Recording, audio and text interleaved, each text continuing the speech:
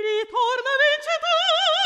Džonas Fischeris, Metropolitan operos muzikos direktorius, kolosas šiuolaikinėme klasikinės muzikos pasaulyje ir nesibaiginti maestro partija su didžiausiais pasaulio orkestrais, kodėl Džonas Fischeris netapo gydytoju ir kaip dabar realizuoja savo svajonę, ką reiškia Italijoje tapti pirmuoju ir kas leistina Placidui Domingui. Laidoje skambantys pasauliai su Nomeda Kazlaus gruodžio 23 dieną, 21 val.